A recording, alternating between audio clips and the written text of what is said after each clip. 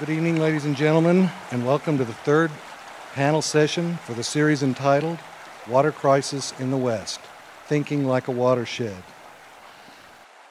My name is Craig Newbill, and I'm the Executive Director for the New Mexico Humanities Council.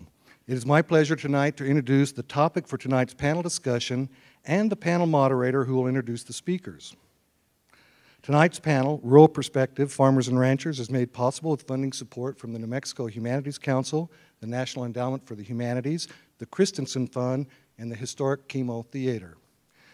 If you or your organization are interested in representing your organization with material in the lobby, for the last two panel discussions, please contact me or any of the staff at the NMHC offices to discuss your plans and we'll help you get a space and set up. For those of you in the audience who are returning to hear tonight's panel discussion, you will recall that the first panel was focused on an historic overview of human habitation and water use in the Southwest. The second panel presented indigenous perspectives that addressed sacred, secular, and economically oriented attitudes about the relationship between human culture and habitat. The guest speakers assembled here tonight in the KiMo will address several topics. From a humanities perspective, they will speak again to this relationship between humans and the environment. So the first panel was intended to stir the pot in terms of addressing global change and climate instability. The second was intended to overlay a cultural mosaic of multicultural perspectives that articulate a number of viewpoints held by indigenous speakers concerning nature and homeland. The third continues this dialogue about the ties between habitat and humans. It will examine the scarcity of water above and below ground level and explore water scarcity due to global warming, climate instability, drought, and over extraction. So, we are discussing ideas and perspectives in these panels discussions, and we are not relying on raw data or quantitative analysis, which will ultimately solve all of our water problems. We are not advocating one particular point of view or solution, but are discussing historic events and cultural practices as they relate to water. Tonight's panel discussion includes three distinguished writers and thinkers who will be introduced by the panel moderator and project director for these public programs, Jack Loeffler. A resident of the American Southwest since 1957, Jack is an author, radio producer, oral historian, and a Southwestern water scholar. His radio series and individual programs include Moving Waters, the Colorado River and the West, a seven state project of upper and lower basin states funded by the State Humanities Councils and the NEH. Other radio programs produced by Jack are The Lore of the Land, Watersheds as Commons, and Aldo Leopold and the Southwest. Books written by Jack include Thinking Like a Watershed, Survival Along the Continental Divide, and Healing the West Voices of Culture and Habitat. As you may know, he's recently donated thousands of hours of oral history interviews to the New Mexico History Museum. Some of you here tonight may recall that he founded both the Central Clearinghouse and the Black Mesa Defense Fund, and has continued his field work in indigenous and, with indigenous and traditional culture studies throughout the American West Mexico, and the Cook Islands. He has worked with national and local institutions to include the Smithsonian Institution, the Library of Congress, Na National Public Radio, the Museum of New Mexico, the University of New Mexico, the Western Folklife Center, and several state humanities councils in the West. Please join me in giving a warm welcome to Jack Loeffler.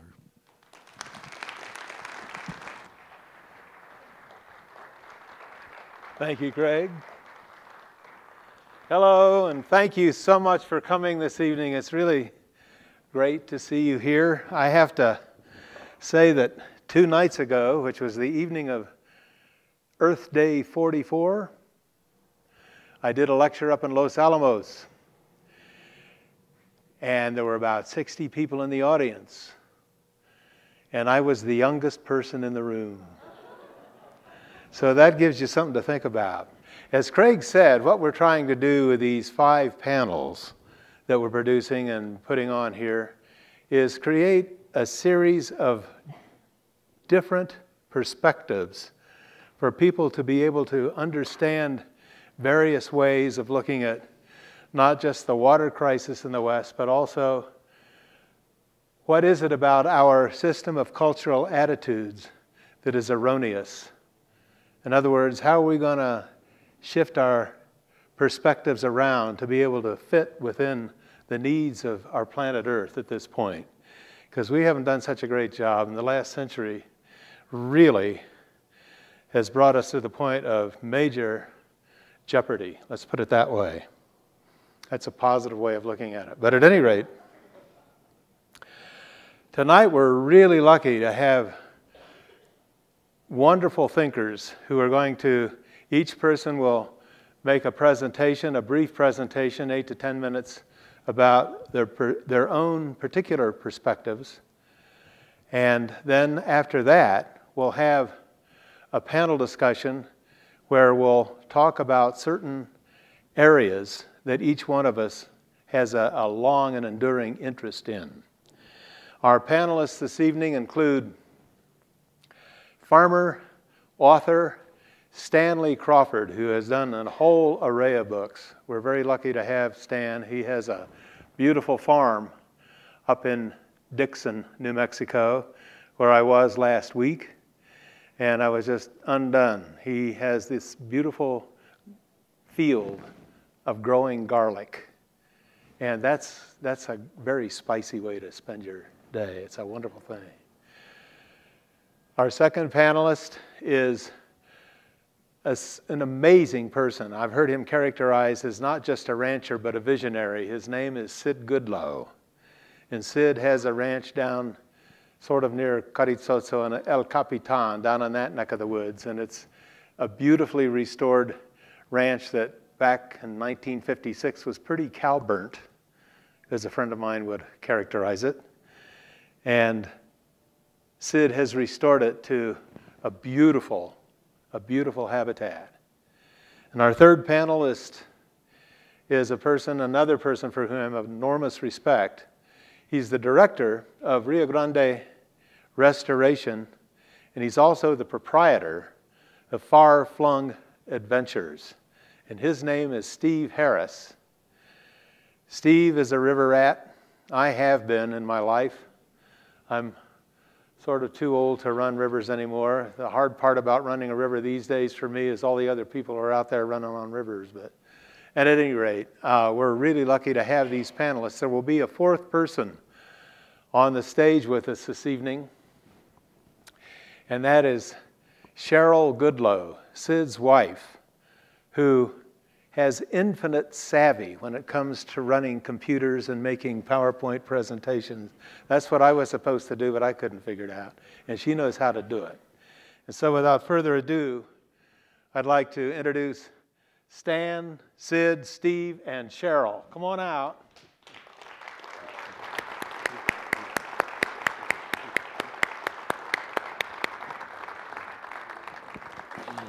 Is everybody's mic on? Yeah. Got him. Um, to begin our evening, we will begin with Stan Crawford over here on my left, your far right, who will give his presentation and inspire all of us, I'm sure. Go right ahead, Stan. Uh, thank you, Jack.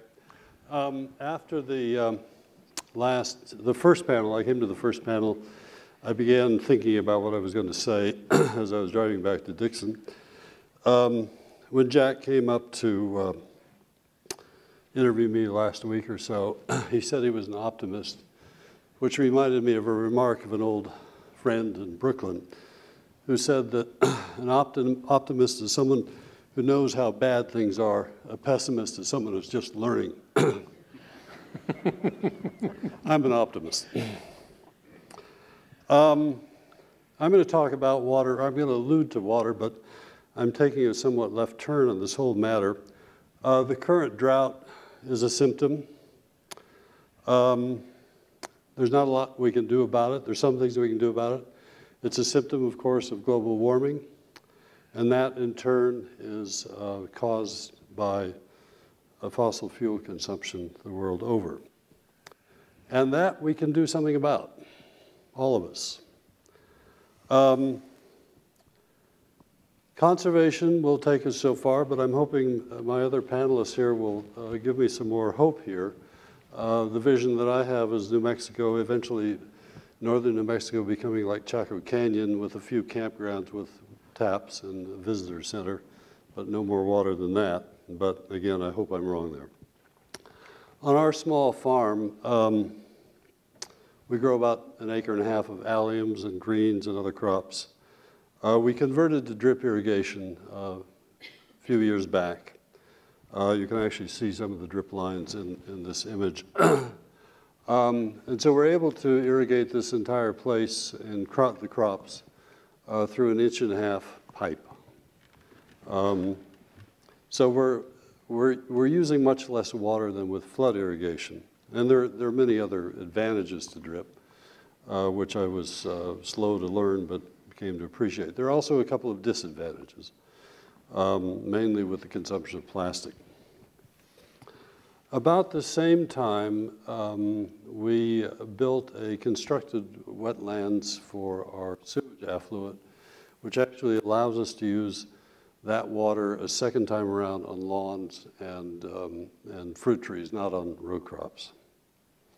Um, it also, the, the little pond, which you'll, you'll see an image of in a while, um, is a habitat for toads. We hadn't seen many toads, and all of a sudden we had toads back. Um, now, all of this helps, but it doesn't help when there's really no water, as was the case back in, I believe, 2004, when everyone in the Embudo Valley had uh, about an hour of water once every 12 days, and that was the entire Rio. Um, as for the ultimate cause, fossil fuel consumption, we've tried to deal with that in various ways on the farm um, through a number of uh, solar features.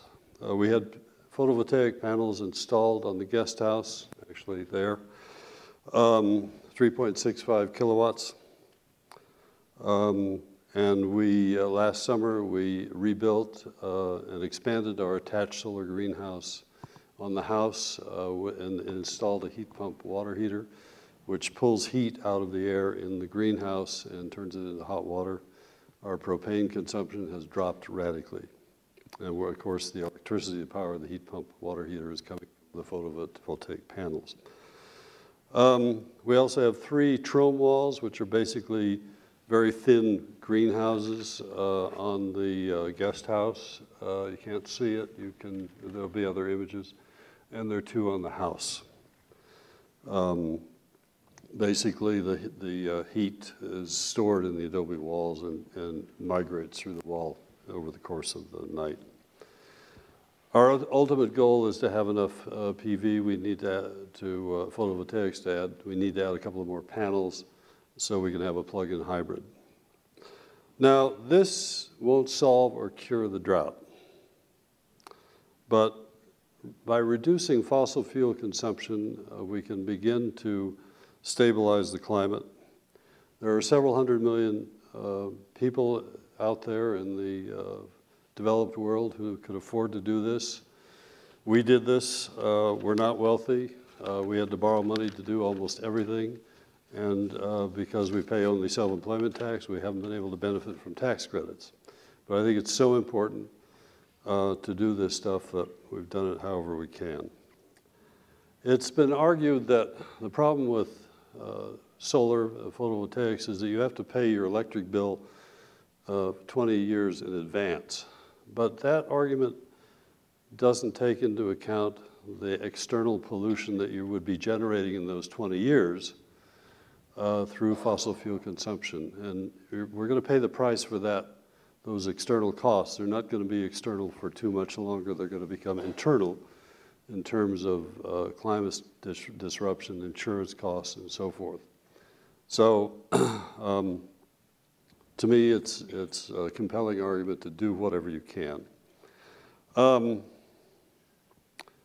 in a recent column in the Times, uh, economist Paul Krugman uh, noted that since 2008, solar panel prices have dropped more than 75%, and the Intergovernment Panel on Climate Change has noted the substantial performance improvements in renewable energy technologies to the, to the point that decarbonizing electrical generation, electricity generation is a realistic goal. I quote, so is the climate threat solved? well, it should be. The science is solid, the technology is there, the economics look far more favorable than anyone expected. All that stands in the way of saving the planet is a combination of ignorance, prejudice, and vested interests. What could go wrong? oh, wait, he says. Solar is something that we can all do. You don't own your own house, get to your landlord, your school, your university, your employer, your government agencies, your local businesses. Uh, some of you know that George Gundry, Gundry who uh, runs, um, owns uh, Tomasitas up in uh, Santa Fe, installed a uh, solar um, parking shed, shed uh, which covers a lot of his electrical needs for, for the restaurant. Um, perhaps, I don't know whether this is important or not, but it feels important to me. The nice thing about doing something is that it feels a lot better than doing nothing and enough people do it, we might actually keep the, the planet habitable. Perhaps without even having to turn to that last desperate, complex, and controversial resort, geoengineering. Um, I'll, if uh, Cheryl, you want to move on to the next slide, uh, this is the wetlands pond. Uh, we have an electric line around it to keep the dogs out. Um, as I say, it becomes a, a very important habitat, and we pump onto the lawn, uh, not onto the field next to it. And the next uh, show. This is our uh, attached solar greenhouse, helps heat the house, and, and of course we start all kinds of things. Um, uh, a friend who works for us is here somewhere in the audience, Scott. Uh, he's planted a lot of that, a lot, of those plants, and that's the heat pump water heater. Um, and Next. Those uh, panels up on the roof um, are batch water heaters, 1984 Cornell batch water heaters, which are actually more suited for a more southern climate, but they work here as preheaters for the, um, for the uh, heat pump water heater. Uh, we re rebuilt them a couple of years back, so they're now running, I don't know how many years, 30 some years now. Okay. Uh, just another view, and go ahead. Um, that one you can't really see too well. I think that's probably it. All right. Thank you very much, Stan. Boy. I have to say, Stan is actually living a reality that I think it would behoove many of us to live because he's doing it, not just talking about it. Our next speaker is a friend from southeastern New Mexico, has the most beautiful ranch you could possibly imagine, and of course I'm referring to Sid Goodloe. Thanks, Sid. Thank you, Jack. I'm going to talk about water production, not, not water adjudication or conservation or any other of the terms we use with with our shortage of water. I'm going to talk to you about production, and water production comes from a properly functioning watershed. And New Mexico does not have properly functioning watersheds. Neither does the Southwest, as far as that's concerned. So I'm going to show you why we got into the non-production situation. Um, I'm sorry about that slide, but that's all I could get of. Uh, my wife claims I was there in 1880, and and, and should have taken a better photograph. but the people that settled New Mexico came from a non-brittle environment where we had a lot of rain and no wind and warm weather and high humidity to a brittle environment where we have low humidity, high winds, high temperatures, and low rainfall. Next. The main thing I want to show you here is the one in red. And this is a paper done uh, at the University of Arizona uh, by Nathan Sayre. In 1870, there were 40,000 head of cattle in southern Arizona. In 1891, there were 1,500,000. So you can see what a massive movement of livestock we ex uh, experienced in those years. Uh, 92 and 93, it didn't rain at all. 75% of those cattle died, but they had already done the damage. Next. I have a couple of slides here to, to give you an example of what happened after a period of, of massive livestock uh, numbers and uh, fire suppression. These uh, pictures are taken 100 years apart. Uh, our ranch is to the right of the big mountain there, uh, Carrizo Mountain. Uh, you can see what the uh, invasion of water-hungry plants was doing at that time. Next. That in the pinon juniper ecosystem and the ponderosa ecosystem where we live, uh, the invasion of these uh, juniper, pinon, and ponderosa trees is just uncountable. From 20 to 25 trees to the acre, we're up to 2,000. So you can imagine how much water they use. Actually, uh, uh, uh, in an area in the juniper ecosystem where you have 106 inch juniper trees per acre, they use nine inches of precipitation a year, which is half of what we get. So you can imagine what happens to the aquifers in those areas. This is just another area of uh, brush invasion in uh, Lincoln County. Can you go to the next one? This is uh, several photographs taken of, of uh, uh, young trees that have invaded grassland where we once had uh, infiltration of water into the aquifer and now uh, it's beginning to be taken up by these young trees. And of course, they are growing at a rapid rate. Next. the uh, increase in carbon dioxide in the air has increased uh, tree growth, according to the USDA Agriculture Research Service, uh, by three times. And they've got proof of that. I've got the bulletins.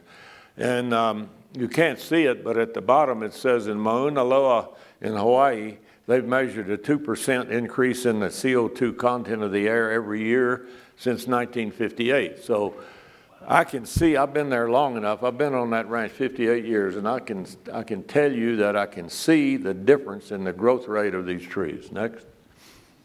You can see that by that slide how the roots come out about 40 feet from the trunk of each tree, sapping the soil of nutrients and moisture, and consequently no herbaceous growth occurs. Second, next. Uh, if you go out 40 feet from the trunk, dig a little ditch, take a hand sprayer and spray the dirt away from the soil, you get this kind of, root growth, uh, just like a, a hairnet, just solid under the, under the surface of the ground, and it causes uh, sheet erosion next. And this, this uh, sheet erosion ends up with the, all the surviving grass plants up on a pedestal where they're not productive and they soon die. So sheet erosion causes a rapid movement of water across the land next, and that causes our gullies all over the country. This is on the Forest Service up above our place uh, where we uh, have, over the years, there have been uh, uh brush invasion, overgrazing, fire suppression, all put together have caused these uh, gullies and this sheet erosion. Next. Uh, what we're doing now, we're going to talk a little bit about what we're doing to, to solve the problem. One of them is thinning, of course, and we do this by cutting uh, fuel wood and we sell it in Ruidoso to the Texans over there that like to smell pinon. And uh, I have my own opinion of the pinon smell, I think it kind of counteracts the smell of that other Colorado type vegetation. Uh, but uh, anyway, next. Cutting firewood is uh, getting a little bit hard for us. We do a lot of it, but but other, otherwise we use uh, heavy equipment and uh, push these trees up and get them out of the way and stir up the soil. That soil's been capped for 50 years at least, and it needs to be broken up. A lot of people don't like that, but next, I uh, think it's necessary. These are the kind of thickets that, that we clean up. Uh, it's just really a biological desert. There's not anything that really likes that. The, the wildlife, the, the lions can get the deer, and the cows can get the fawns, and the bobcats can get the turkeys in those thickets. So we're cleaning all that up next. And uh, when we're through, it looks, it looks really rough, but I can tell you from experience that a cat track is the best seed bed you can have. And we go back and we throw out native grass seeds next on these, uh, on these areas where the cat's been, and we, if it rains, of course, we get a wonderful stand next.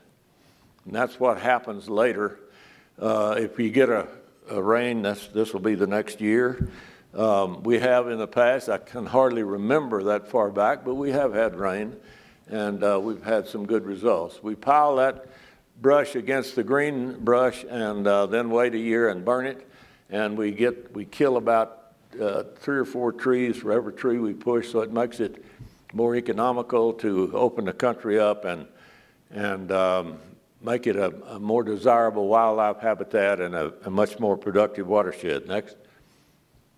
In the Ponderosa ecosystem, we thin that also, and we, we have to pay for those things, of course, by selling fuel wood and vigas. We peel these vigas and sell them also to those Texas folks in Ruidoso. Next. Uh, we've recently started trying the mastication method in these thickets. Pine, of course, doesn't sell as firewood. What we've learned is, is uh, it's very expensive, but this is the way to get this done. And now you can move on. Um, this hydroax, uh, this was an absolute thicket you could hardly walk through. And we've left the better trees, and uh, they'll make logs in 20 or 30 years. And uh, we've got the ground covered with a mulch, and we went back in there also and seeded it next. And this is an area we, we're kind of up in the air about burning. We did burn this little area here and seeded it, and then that's two years after it was done. So we've, we've accomplished what we want. We've got a, a properly functioning watershed there instead of a tree thicket that's sucking all the water out of the ground. Next. We use herbicide also to to accomplish our, our production point. Um, these Velpar pellets, uh, you can purchase them anywhere in a hardware store. One pellet will kill a, a juniper tree. And um, next, um, this is uh, two years after uh, we used a pellet on that tree, and you can see that that the area around the tree that was starved by the tree roots is now really producing. Next. Uh, grazing is another, um, I better talk faster, hadn't I? Uh, uh, grazing is another thing that we have to do to keep our management holistic. Uh, we use short duration grazing. We started that in 1971. It's now called planned grazing, and uh, it's worked very well. Next. Riparian areas I'd like to mention briefly. Riparian areas cover less than 2% of the state of New Mexico, and they're very easy to focus on.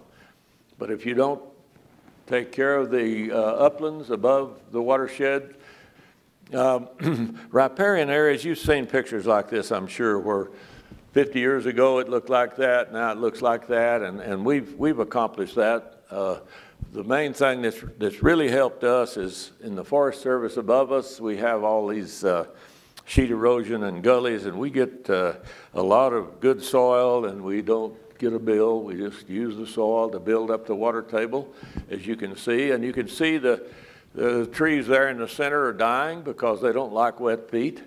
So the riparian area is, is, is becoming uh, productive next if, uh, if it comes a, a, long period of dry weather like we've had, these riparian areas become very attractive to the livestock and wildlife. And if you don't fence it, they'll absolutely just live there. And I, of course, I don't blame them. Uh, but we have. We fenced our riparian areas. Uh, the only problem is we can't keep the elk out, so they do uh, catch a lot of pressure from the elk. Next. This is an area where we planted some willows about 20 years ago, and they've they've really expanded and they are now holding the soil. And uh, of course, they use some water too, so there's a little downside there, but, but they are holding the soil together. Next. Um, talk about fire now. Uh, most of you probably have seen this picture. Um, this is just a good uh, example of the re results of 150 years of fire suppression. Next. in the University of Arizona, they have a tree ring research center. They can absolutely predict the, the uh, year that all these fires occurred. If you'll look, that center um, pith there was uh, 1700. You see all the fires that occurred between 1700 and 1900. And of course, because all the fuel was gone to carry fires uh, after 1900, there were no more fires. That's pretty impressive. Next. This is an area uh, near Show Low, Arizona, where that uh, Rodeo Chediski fire occurred. That was a, a ponderosa thicket that was absolutely worthless. It cleaned it up. They flew on the seed from the air, and now they have a productive watershed. Next. Uh, on Carrizo Valley Ranch, we, we try to burn uh, and keep the population down by burning in the summertime. If we get rain and the grass is green, the fire can't get away. And this is what we're aiming for. This is a, a productive ponderosa woodland that uh, is not uh, a thicket that's, that's uh, unfavorable to wildlife and using up all the water. Next. And lastly, here I'd like to mention that uh, if we don't control off-road vehicle traffic on our public lands, they're going to do more damage to our watersheds than anything else has ever done. Uh, everybody now has got a four-wheeler or a dirt bike or a four-wheel drive pickup, and they've got to be controlled. Uh, we have done a little bit uh, in that regard in the Lincoln National Forest, so it's the only forest in the state that has off-road vehicle regulations. Next. We have uh, tours and workshops that come out, and um, we try to explain to them on the ground what we're doing to improve the production of a watershed. And, and I can tell you it, uh, it, it really registers with a lot of people that have never had that experience. Thank you very much. Thank you, Sid. Actually, visiting Sid and Cheryl's ranch is a, has been a real pleasure for me over the years, and a lot of good sense spoken here. Thank you. And finally, we have Steve Harris, who uh, is a great river runner, but is also in charge of the Rio Grande Restoration Project. And Steve is going to talk to us about some of our river situations here in New Mexico. Thank you, Jack. It's uh, a great pleasure to be here with you guys tonight. Um, I really uh, have admired uh, Jack's work with natural resources and with landscapes and voices, and uh, I think it's done a lot to, to help improve things, uh, at least the way that we regard our natural heritage here in the West. And so I'm proud to be uh, contributing a little something this evening. We're looking at the view out my uh, front porch of the Rio Grande in 2005. Jack mentioned I own a rafting company and uh, have a small nonprofit.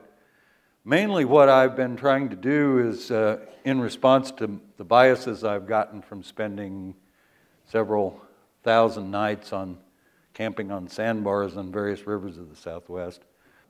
The home landscape I've selected now is northern New Mexico. And by the way, Sid, uh, we've got uh, a solution for gullying we use up there. We just throw the old car bodies off into the gully. And you, might, you might try that down in Carrizozo. Old cars. Go ahead.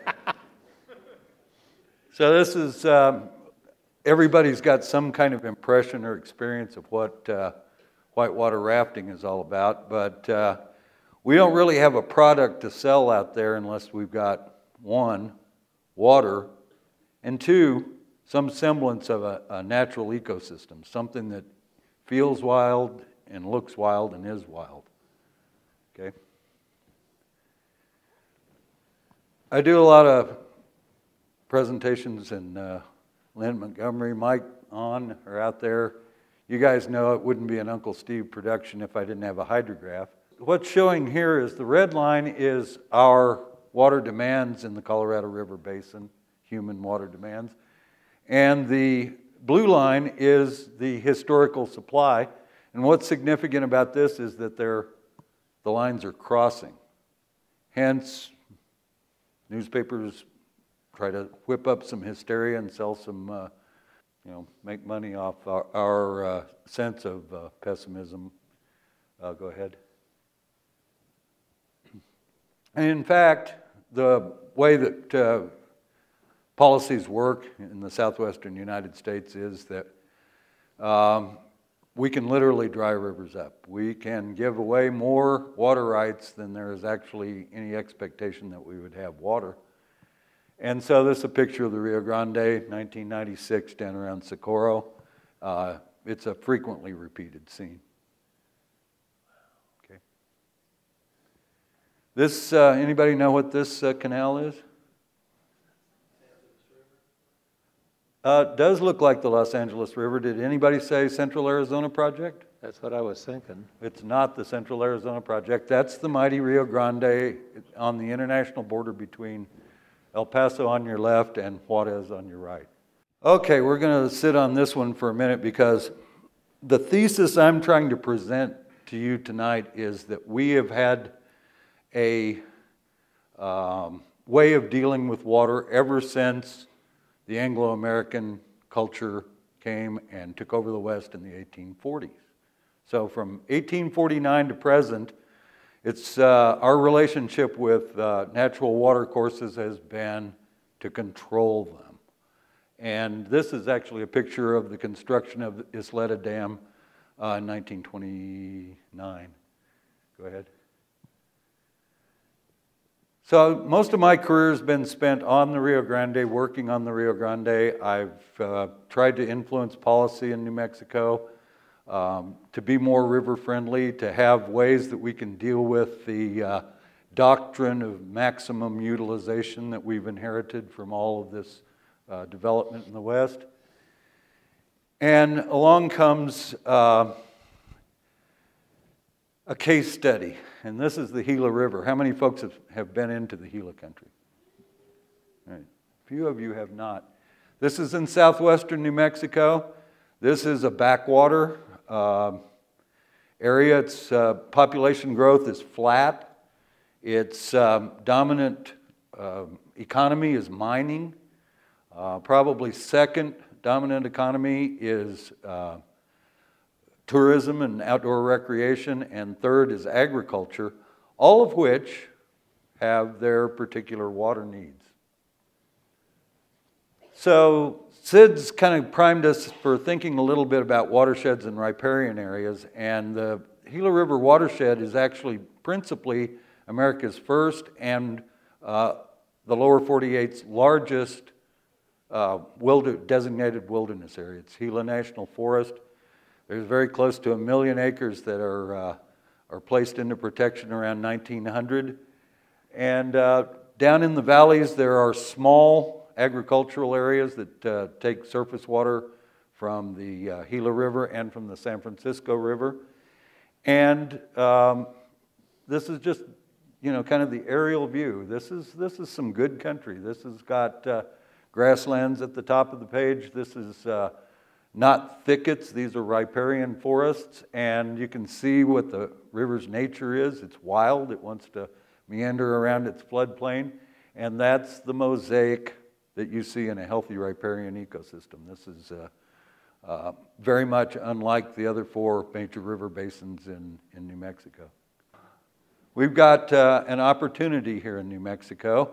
The Interstate Stream Commission is driving the truck on uh, the spending of about $93 million in federal subsidies that uh, I don't have time to tell you the story of why uh, we've got this, this, uh, um, this largesse from the federal government, but we've got a choice in southwestern New Mexico right now. We can build a project. We have an opportunity to take more water out of the Gila River, which is fully appropriated and never makes it to the Colorado.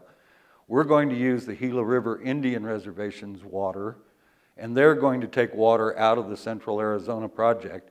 Hence, we've got federal money to build the New Mexico unit of the Central Arizona project to take 14,000 acre feet of water, about what Santa Fe drinks in a year, out of the Gila. At the same time, the legislation was written so that if we don't want to do a diversion project, that we can spend that money on any other water utilization project in southwestern New Mexico. By the end of the year, the Interstate Stream Commission will send a letter to the Secretary of Interior saying we want to build the New Mexico unit of the Central Arizona project or not send a letter. Sending the letter puts the wheels in, in progress to, uh, to begin uh, a project that looks, um, at least conceptually, like this. This is Mesilla Dam down in the lower Rio Grande. But it's going to be uh, seven miles up into the de facto wilderness, an area that the Forest Service calls the Gila River Primitive Area, put a barricade from wall to wall, and then either put the, the water in canals on both sides of the river using gravity to get it into off-channel storage in some, uh, some arroyos. About three or four arroyos will become reservoirs. Thence to pipe this over the Continental Divide into the Mimbres Basin. Some of it uh, presumably will be sold to Silver City. Other of it will be presumably sold to Deming. Go ahead. And this is, uh, this is the setting where that, where that dam's going to be, uh, if, in fact New Mexico elects to build it. The reason I'm kind of acting on the assumption, maybe you've noticed this, I'm assuming that we're going to go ahead and build this dam, because I don't think we've quite gotten over that era of development. Um, that's our first recourse. Anytime we find ourselves water short, we're going to go and look for another source of water. And so people are seriously talking about solving Colorado River Basin problems by um, massive uh, engineering projects bringing water from Lake Superior, towing icebergs in, uh, multi-billion, probably trillion dollar uh, desal plant on the Gulf of California and pipelines to uh, Phoenix and LA and so forth. Um, th that's just, we're still thinking that way. However, you can see that we've got this opportunity. We've got a chunk of money that's not, it's already come out of our pocketbooks. All of the federal taxpayers have contributed this. And there is a suite of alternatives that could actually meet the foreseeable water needs in southwestern New Mexico. Change? The acronym AWSA means Arizona Water Settlements Act. And uh, Arizona Water Settlements basically is how we got this 18,000 acre feet of water, or 14,000 now. And it's basically Clinton P. Anderson, New Mexico's senior senator so many years ago, um, in order to get his vote and his uh, concurrence in the, in the Senate of the United States to build the, the Central Arizona Project, the massive pipeline from the Colorado uh, River, um, we were promised this water. So this is our, our legacy from the 1960s. And uh, right now, the official estimated cost of this project are about half a billion dollars. Uh, as I mentioned, the subsidy is worth about $100 million, leaving somebody to pick up the, the bill here. Uh, typically in these uh, reclamation projects, it's going to be the end user that, uh, that puts out a bond and, and, uh, or takes a, a, a, federal loan and pays it back painstakingly year by year. But in a, an area with, uh, whose largest county's population is 26,000 people, um, Catron County is less than 10,000 people, and, and the county containing Deming and the county containing Lordsburg have uh, uh, promised to have difficulty in servicing a bond to pay this other uh, unsubsidized amount. I spent the last week really grinding on uh, putting together some, some, uh, some figures, but, but the uh, Interstate Stream Commission has agreed to analyze 13 non-diversion alternatives. Four of these are watershed projects, and I think Sid made the case pretty well that Certainly, uh, a healthy watershed has some benefits. Uh, the, the fires that have raged through the Gila Wilderness uh, three of the past five years have uh, created uh, havoc, debris flows, and so forth in the communities. Um, 13 of 28 uh, stream segments that used to contain Gila trout, because of the fire, no longer support Gila trout. Uh, water quality standards are not being achieved, and uh, you know it, uh, it shows up down in the river pretty, pretty quick. Uh, Grant County also has several communities that are not uh, going to have water much longer. Um, They've been uh, gifted water by uh, Freeport McMoran, the, the big copper mining company. Um, The mines are, are promising to close in Hurley, and to some degree Bayard are going to have uh, problems with water supplies. So the Grant County, where uh, Silver City is the, uh, is the seat, has a, uh, a $15 million infrastructure project that they would like to build. Um, And with that, they've got reuse, recycling, and the sort of water conservation that's, those of us that live in Albuquerque have become accustomed to, xeriscape flow, flow fixtures, uh, educational messages, uh, groundwater recharge, and so forth, and watershed restoration. So I know I've gone over time, I'm going to quit. Back to you, Jack. Well,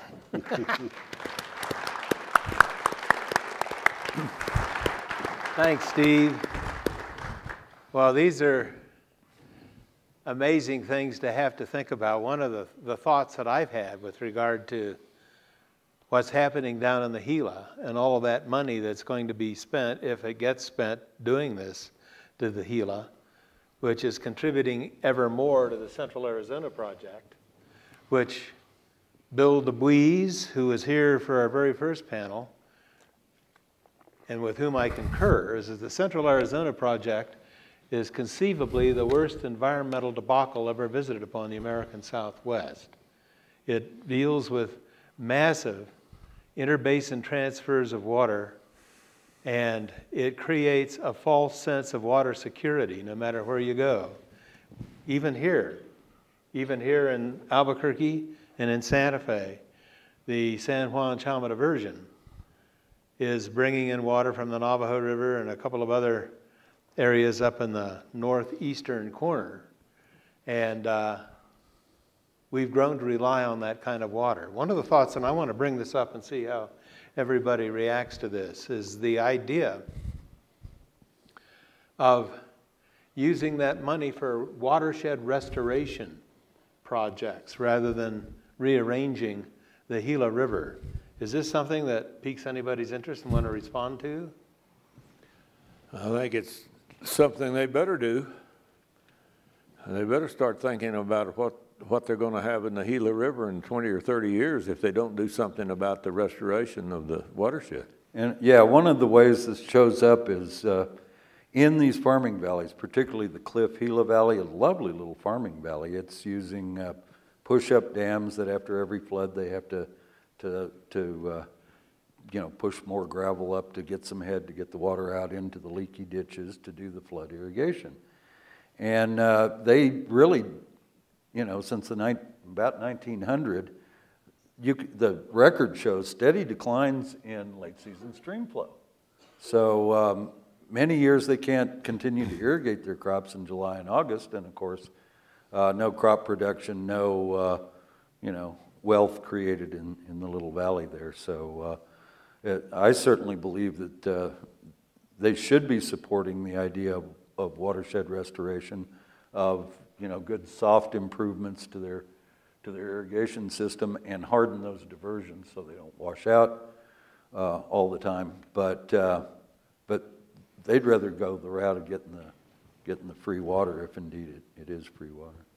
Well, one of the things that part of what these panels that we're putting together here are trying to focus on is the notion of thinking like a watershed, which isn't just thinking about the water within the watershed. It's trying to look at what a watershed really is. In other words, you can look at the horizons up and down along the Rio Grande, and everything that's coming down into the Rio Grande, that constitutes the watershed. The watershed is a geophysical cradle for an entire biotic community.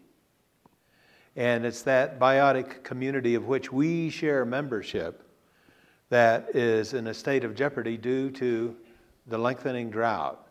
One of the things that I think is important to try to think about, and people like our folks here on the panel have to think about this a lot, and that's uncertainty.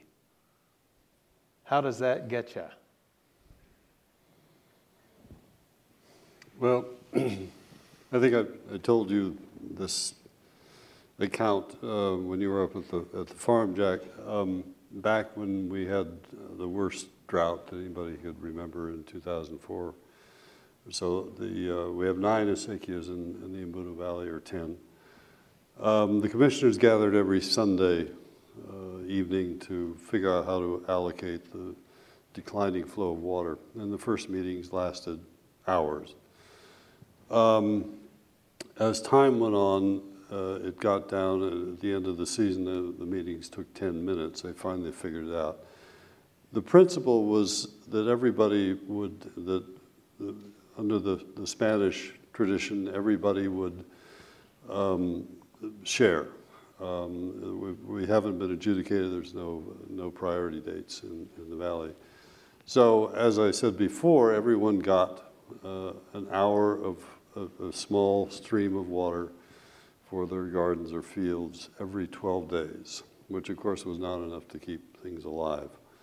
Um, but um, a commissioner friend, uh, I, I, was no longer on, on the commission of my acequia, said that it was the most gratifying community experience he'd ever participated in. The problem is that went on for two years, for two summers, and then things started getting better.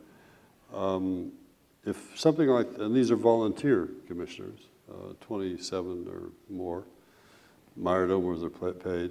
Um, if this goes on for more than two or three years, are these volunteers, and I'm now a commissioner again, are they going to keep up with this? So we're vul vulnerable over a very short period of time, maybe three, four years, uh, it could be all over or it, it, could collapse. Not that it couldn't be rebuilt if, if the water returns. Um, that's what I, I mean, that to me is the big unknown the big unexpected, the big question. How long, how long can we keep doing this when in fact we don't get what we are doing it for, which is enough water to, to grow our crops? Well, this, this brings up a question, which I know all of us here have thought about for a long time, and that is, can we afford to keep increasing population-wise and development-wise in a habitat that has diminishing water resources. And I think that this is one of the big, you know, this is a level of conflicting absolutes that is absolutely imperative to look at right now. Can anybody talk about that a little bit? Future development. Well, I think we're going to have the, the influx of population and the, and the development, whether we like it or not. We've just got to figure out a way to supply the water and the way to supply the water is to return the watersheds to their production ability. And that's done like I just showed you. It's by getting rid of these water hungry plants that don't belong there. In the eastern part of the state, it's mesquite. In the western part of the state, it's sagebrush. In the other ecosystems, it's pinon, juniper, ponderosa, whatever. But they don't belong here. This uh, state was basically a savanna where it wasn't just open rangeland and we've got to return it to a savanna uh, ecosystem, and it will then produce. One of the things that uh, Craig Newbill, director of the New Mexico Humanities Council, pointed out to me, oh, a couple of months ago, was that over the last two years, the human population of New Mexico has actually diminished by up to 20,000 hmm. people a year. Really? And uh, both Craig and I know people who are moderately well to do who've been here for a while but are planning on leaving. And the more people who leave, the better off we are. A lot of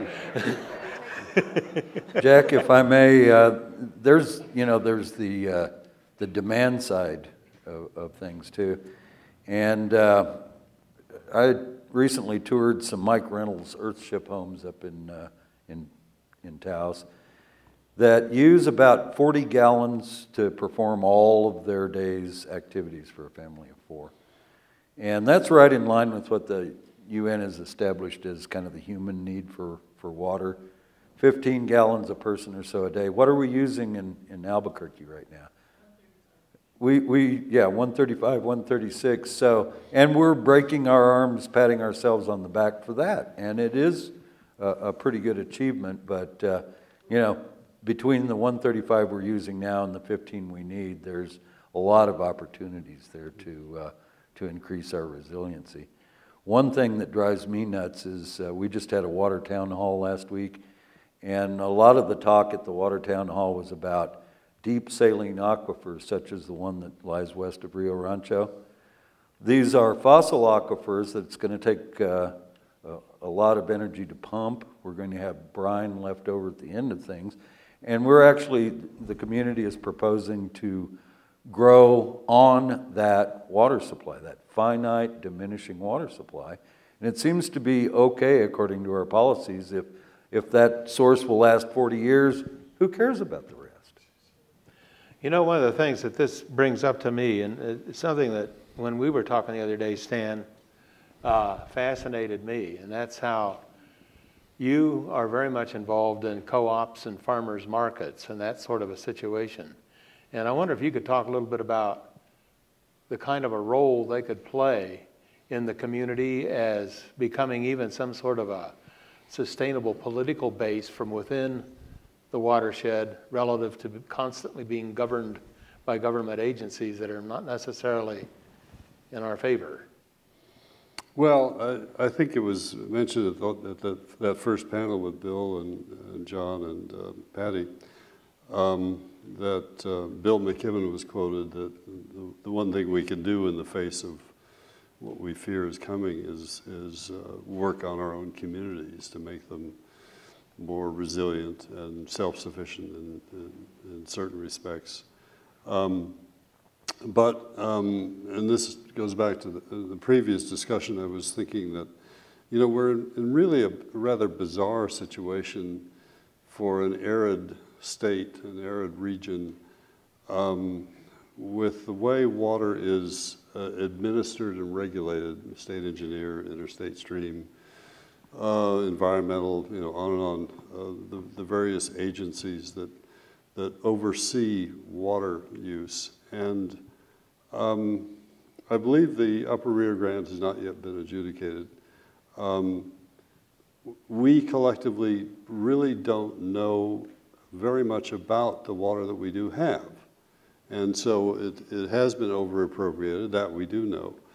But it's, it's, it's to me very strange, and, and I'm not saying that it's something I particular uh, desire, but um, I, I, think our ignorance is, is startling, and I think it, it, the state agencies are also suffering from it. I think the state engineer's office is probably grossly underfunded. I was told in 1974 that by, I think it was Eluid Martinez, who was not yet um, state engineer, that he thought the Yamuna Valley would be, this is 1974, would be adjudicated in about 15 years. Um, well, gosh, no sign of, of anything. Not that that's something I particularly want to happen. Um, but there, there is a, there's a pretty big disconnect between the reality on the ground, which I think we all are experiencing in, in various ways, and, and what the official um, uh, the governmental entities um, know, I would say. One of the things that I sort of philosophically ponder frequently is how much our thinking is clouded by our overemphasis on economics and mm-hmm. underemphasis on ecology, actually. I think that's one of the big flaws in our system of cultural coordinates right now. And one of the things that I'm hoping is that the more of us who can really get involved in this kind of thinking, the more likely we can evolve a system of cultural coordinates that's more commensurate with ourselves relative to our ha habitat, our home habitat. And if we constantly think in terms of growth for the sake of growth, and I've mentioned this in earlier panels myself, but if we're constantly thinking in terms of growth for its own sake, we're really kind of slitting our own throats, at least in my opinion. I've said it before.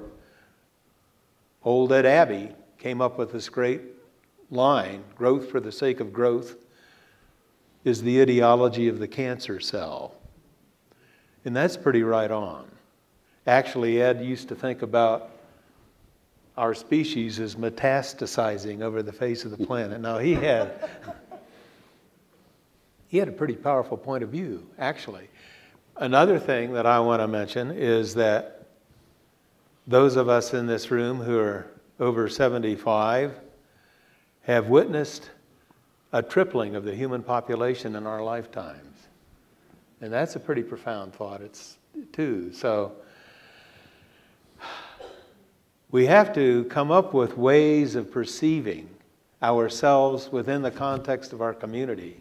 And one of the big things that I think that we really have to concentrate on right now is looking at our vast rural areas that we have and people who live in these rural areas. And then we have people who live in our urban areas. And it seems to me the only way we're going to see a way through this current state of jeopardy is within some sense of mutual cooperation. And I wonder if any of you guys have anything you want to address about the role of mutual cooperation in all of this. Well, I think the, the rural uh, population has got to do whatever it can to improve the production ability of the watershed, and the urban population has got to do whatever they can to conserve it. Um, you know, there, there's uh, the National Resource um, NRCS um, service that that will cost share as as a rancher like myself uh, to improve the watershed. They'll cost share that because they know that what I'm doing is going to eventually benefit the people in the urban areas. So they, it's a, it's a government program that that will help us do what you saw I was doing uh, here on these slides. So. I think it's our responsibility as rural residents to do everything we can, not only to produce more, but to conserve what we have. That's great, Sid. I, there's a, a model uh, that I recently became aware of. It's called the San Juan Chama Partnership, and it uh, includes southeastern Colorado and uh, the Pagosa area and the uh, towns of Chama and so forth, that uh, where the landowners have banded together and they're doing their own plan with little state or federal help, very much like what you've done, Sid, uh, over the landscape scale. And uh, uh, things are just getting underway, but it's, uh, to me, it's a model of cooperation among, uh, you know, it's not just a little neighborhood. This is, this is a large neighborhood and it crosses uh, state boundaries. And I- and I'm pretty hopeful that this will, will uh, be a model for some of the other areas in New Mexico. If, if all the residents of a certain watershed would get together and come up with a plan to, to improve the production of that watershed, then that's, of course, that's the way to do it. It's very difficult to do, but that San, San Juan Chama project I'm familiar with, a very, very forward-looking group of people. Have anything you want to add? Uh, I was, uh, I- I'm always one question behind, but um, the one nice thing about farmers markets is that they're information systems. Uh, Growers can impart what they know uh, about their crops and practices uh, to city people, and, and uh, their customers can tell them how to prepare certain things, preserve certain things. And, and I think this is uh, a situation where our mutual water needs, rural and urban, can certainly be discussed and conveyed. I actually think that uh, farmers markets and co-ops could be effective politically. One of the, we just received four comment, or not comments, but issues Good. from the audience that I'd like to, this beats trying to get people raising their hands. So this is the way we do it. Okay, is there any political will and/or many voices in the legislation to consider alternatives to damming the Gila? And what do we, the citizenry, need to do to speak out for the Gila? So during the last legislative session, we uh, prevailed upon Senator Peter Wirth to uh, craft a piece of legislation that mandated that the money, this federal money, be spent by the ISC on these non-diversion alternatives. It got one committee hearing in which it got um, tabled. So there's a lot of education that could be done with the legislature. What we heard in that effort was this conviction that, hey, if you spend enough money, we can develop the water. That's, you know, we can't afford to not take some of this new water. This is the only new water in the state. All of those, those sorts of arguments were, were uh, very compelling. Uh, what we can do, I think, is what we are doing is um, zero, beginning to zero in on the Interstate Stream Commission. They're not uh, per se a political body. They're sort of a technical, you know, and it's sort of an honorary thing. And yet they have the responsibility to make this decision. And uh, if you know Mark Sanchez, he represents the Middle Rio Grande. He's the executive director of the Albuquerque Bernalillo County Water Utility Authority. Call him. If you don't, go to a go to a water authority meeting and ask for uh, your two minutes as a citizen at the end of the meeting. Uh, sign the online petition. There's a 14 year old girl down in Silver City named Ella Kirk that's uh, put out a petition here. And uh, at present, we've got over 6,000 signatures going to Jim Dunlap, the, the chairman of the Interstate Stream Commission. You've just addressed another one of the issues raised here, which is what are the politics of the Gila situation? That is, how is the Interstate Stream Commission leaning? Sigh. The- These are either appointed or carried over by Governor Martinez. Three of them are from the east side, and two of them are associated with the uh, Ute Pipeline project that's uh, currently vying for some federal money. Um, The state engineer himself was actually the engineer for that uh, eastern New Mexico water utility that's uh, uh, hoping to do economic development with Canadian River water. The chairman of the Interstate Stream Commission is a beneficiary of the Animas La Plata project. Um, The like, you know, and uh, Sanchez of the Water Utility Authority, uh, you you know, just spent a a billion dollars to, uh, to wire uh, or pipe us up to the Rio Grande. Um, You know, the politics are, do not look good. But um, they ultimately, you know, they can't fight the economics. And, uh, and Norm Gaume, who was formerly the head of the Interstate Stream Commission, took a look at the engineering, uh, determined that uh, the, the, what they're trying to do is insanely costly, and that the engineering is they vastly underestimated the, the engineering challenges involved. So uh, uh, I think with uh, Norm's testimony more than once in front of the Interstate Stream Commission, they will at least have the, the clarity, the stark choice laid before them. And then if they want to um, make the more costly decision, then uh, those of us that want to see the Gila stay the way it is uh, will be uh, um, shifting off to Bureau of Reclamation. One of the things I'd like to mention about 12 or 13 years ago, I was producing a radio series and I had the opportunity to interview Luna Leopold, who had done the hydrography for both the Colorado River and the Rio Grande region. And apropos of building more reservoirs and everything, Luna Leopold, who by this time was in his late 80s, but he was violently against the construction of more reservoirs, and he's pointed out that between them, Lake Powell and Lake Mead evaporate at least 10% of the water that comes down the Colorado River.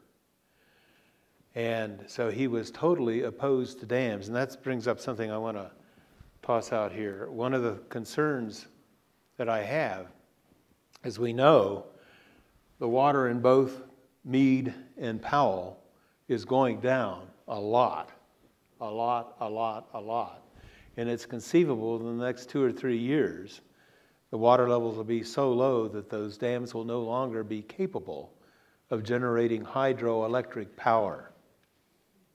And what that means is you can extrapolate probably that the coal companies and the power companies are going to jump in and try to create more coal fired power plants.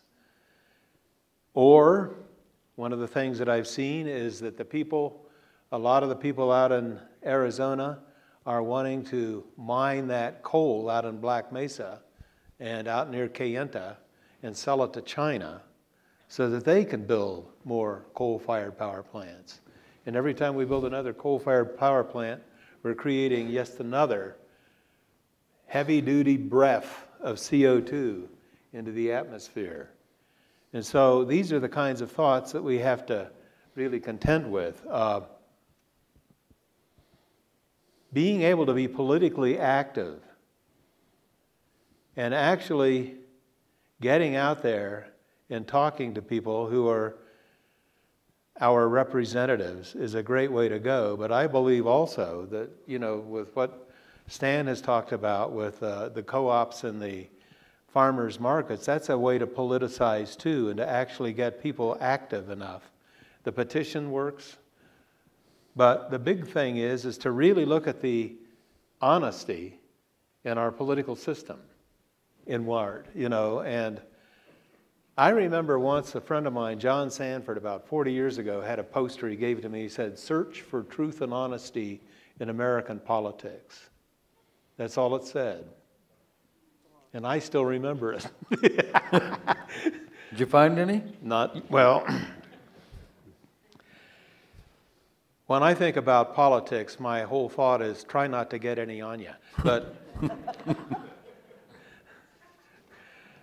Another, another issue to address from the audience. What can people here tonight do about AWSA? My shills are out there, aren't they? All these questions are for me. Uh, tried to address that, and you know, it's hard. What, what is it? Uh, what, what does it take to be a successful citizen activist? Actually, one thing. What's the acronym mean? Oh yeah, Arizona Water Settlements Act. So let's, uh, unfortunately, there's a little history lesson. Can I take 30 seconds on this? Sure, 45. Thanks.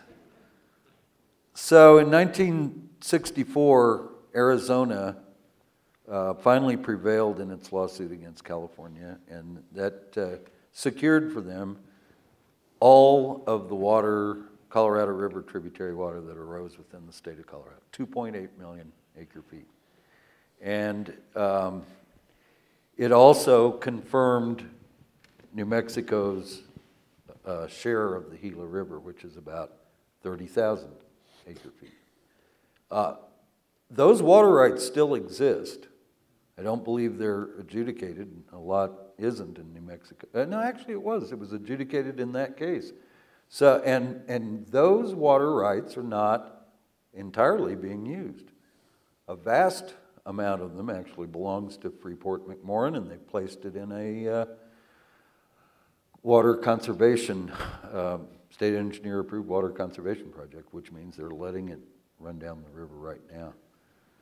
What you can do about this project as, as an individual is, is very difficult, but uh, certainly educating yourself how this system has come into, uh, into being, uh, to speak with the people that live in the area and marvel at the, uh, at the, uh, you know, how entrenched this idea of develop it first, you know.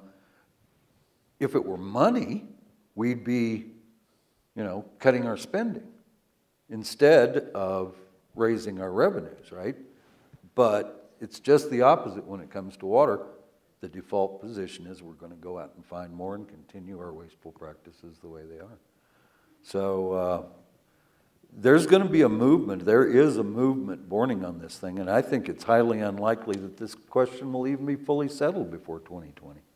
So uh, um, there's a way to translate the fact that 83% of the people polled in New Mexico say that they do not want a diversion project, but would much prefer to do these softer conservation, reuse, recycling, uh, watershed restoration methods.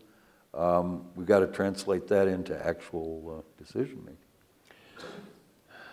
apropos of that, well, our next panel, and I'm hoping we can get as many people in here as possible for the rest of our panels here. And I really appreciate everybody who's here right now. But our next panel is going to focus on the evolution of water law in the American Southwest. And that's going to touch on a lot of this stuff. For example, we'll talk about uh, the 1922 Colorado River Compact, and I think it's the 1939 Rio Grande Compact, and a lot of these different things as Steve just mentioned, Arizona fought vigorously to get 2.8 million acre feet out of the Colorado River, and that wasn't that was a 40-year water war. That compact, the 1922 Colorado River Compact was signed up at Bishop's Lodge in Tesuque back in 1922. Herbert Hoover, who was then the Secretary of Commerce, presided. Stewart Udall regarded Herbert Hoover as California's agent in all of this, Stewart having been from Arizona. But the upshot was it took 41 years. It was 1963 when that whole bit of legislation was decided finally by the Supreme Court so that Arizona did get its 2.8 million acre feet. And that water had to be pumped up and over the mountains. It cost so much. Ostensibly, it was supposed to have been for agriculture. But as Dave Brower pointed out, much of that water has gone to development. And you look at Phoenix and Tucson, who are relying on water that is going down, down, down. And what will happen in those cities? What will happen in any city when its water supply is less than can supply what we need to make the city run? It's a big question, and we'll get into a, a lot of the legal aspects of these things next time. Um, one, here's another issue that'd be great to address. How do we rehydrate rest- or slash restore our watersheds in a large enough scale to make a difference? Well, the main thing, I think, is, is uh, concern by the public and the, uh, the possibility of, of the concern being so great because of a lack of water that they will uh, pass bills and, and uh, bring in enough money to do some good. I mean, it's simple. Thinning the forest will do the job but it costs money, and the money's got to come from somewhere. I don't know if the concern is great enough. If this drought continues, it probably will be. But, you know, I, am familiar with the 50s drought, and, and uh, this could get a lot worse.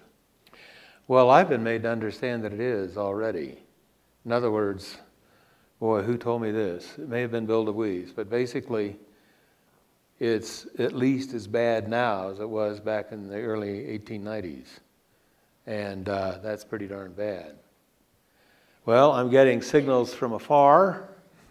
Brother Newbill tells me that we're about done for the evening. But first of all, I want to thank all of you folks for coming to water panel number three this evening. And then I want to thank Stan Crawford, Sid Goodloe, and Steve Harris, and Cheryl Goodloe our mastermind.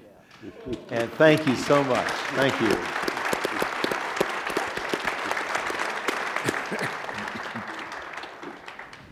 Please come back May 29th, I believe it is.